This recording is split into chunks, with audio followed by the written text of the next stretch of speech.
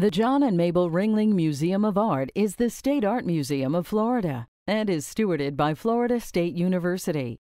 The museum's outstanding art collection, known for its particular strength in Renaissance and Baroque painting, is displayed in 21 permanent galleries, originally built by John Ringling in the 1920s.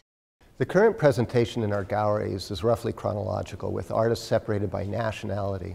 The scheme has not been significantly revised since the 1980s. While our collection has great strength and depth in certain areas, it's not comprehensive. And so the current arrangement doesn't convey to visitors what is special and unique about our holdings. With the exemplary talents of the Ringlings Ulla R. Searing Curator of Collections, Virginia Brilliant, and the prominent museum designer, Jeff Daly, known for his outstanding work at the Metropolitan Museum, we feel we have the right team in place to impact how our visitors experience the collection. This reinstallation project, which encompasses all 21 galleries, represents an entirely new vision for the Art Museum, one designed with visitor engagement in mind. In the new presentation, each gallery will have a theme, one chosen to highlight a particular area of strength in our collection.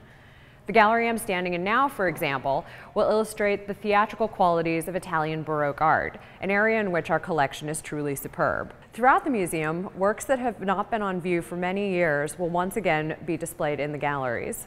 The reinstalled galleries will engage the public with, artists, with key art historical themes, not only through the selection and arrangement of the works themselves, but also by using the most modern methods and materials of museum design.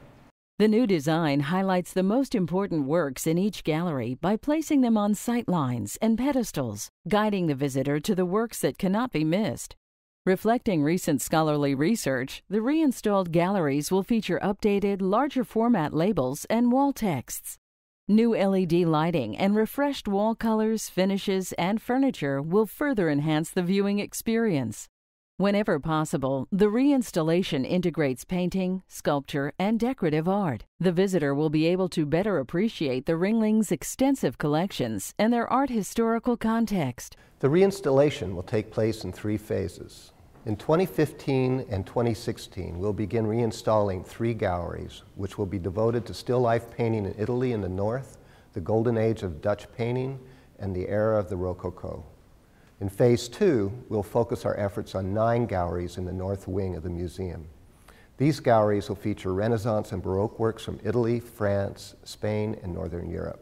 Finally, we will complete the remaining galleries, including our two magnificent galleries housing large-scale works by Peter Paul Rubens. We will also have, for the first time, a gallery devoted to the Ringling's collection of Cypriot art, one of the largest collections of this material in North America.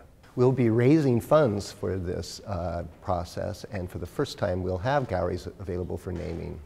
The Ringling Reimagined is a plan to bring John Ringling's vision into the 21st century, providing museum visitors an unprecedented opportunity to engage with, understand, and appreciate the Ringling's impressive collections.